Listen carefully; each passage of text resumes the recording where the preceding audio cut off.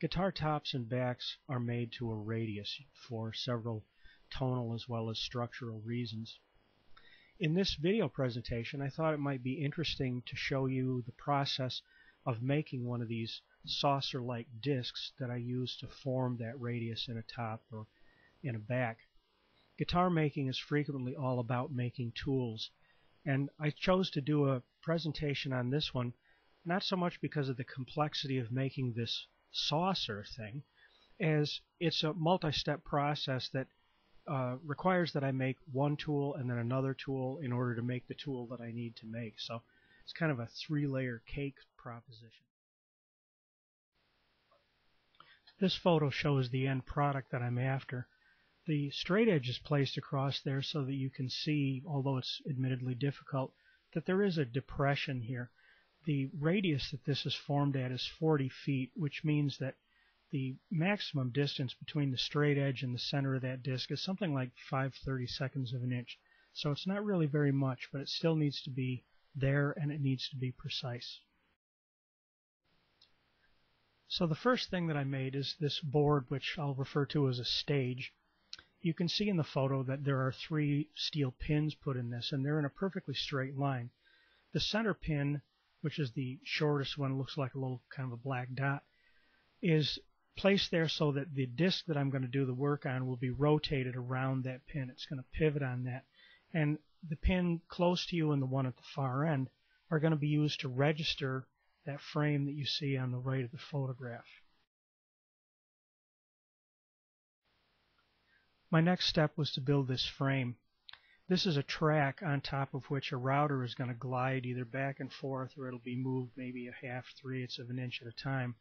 This is going to support the router over the rotating disc. The rails on this, on top of it, are made specifically at that 40 foot radius. You don't see them well in this picture, but you do see at the foreground, you see that it's pinned. It's actually registered on that staging board to hold it in perfect alignment with the center line so that everything is just where we want it to be and it stays there. In this photo you can see the arching of that rail system on top of the frame.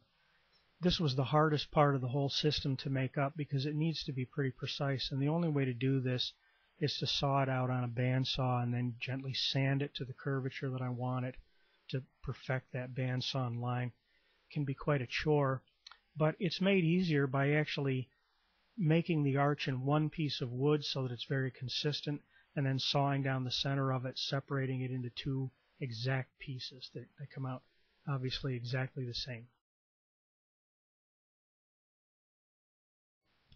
The next job is to make a circle cutting jig for the bandsaw.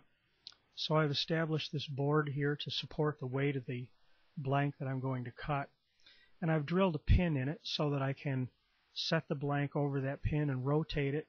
It's established at a 12 inch radius and it's also set up so that the cutting edge of the blade is exactly tangent to the circle that we're going to cut. So the blank will fit down over this and we'll slide it into the bandsaw and we'll rotate it allowing us to cut a nice clean 24 inch circle.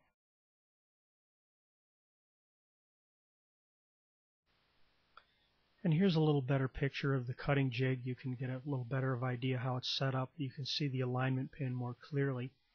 And then in the next picture, you see the blank set over the jig. It's been pushed into the bandsaw, which is still not running, but it just misses the blade. And now we can turn the bandsaw on, and I'll rotate that blank around and cut a nice circle.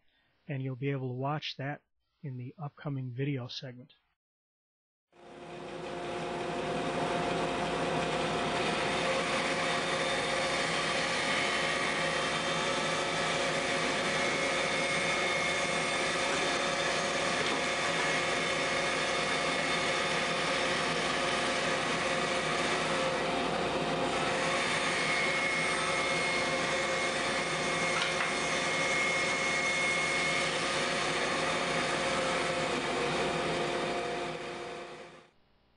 And now that the disc is cut out, I've mounted that on the stage and I've mounted the frame over the stage and you can see here the router is set up and ready to go.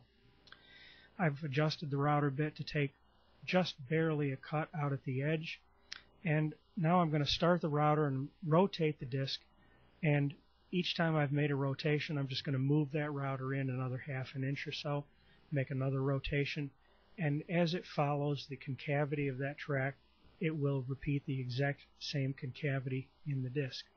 And you'll be able to see that in our next video clip as well.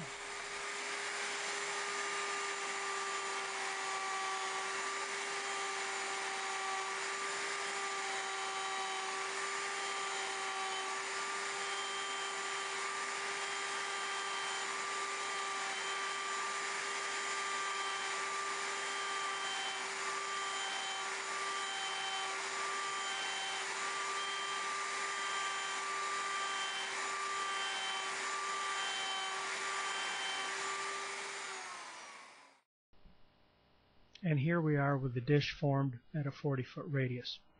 At this point I'll sand this out a little bit to get some of the little roughness out of it that's left by the router bit and then after several coats of varnish to seal it up and harden the surface I will glue a large sanding disc in the center of that so that we can use that as a gripping surface but I also use that to sand out braces and various parts that need to conform to that exact same radius. Very handy tool about two and a half hours to build it.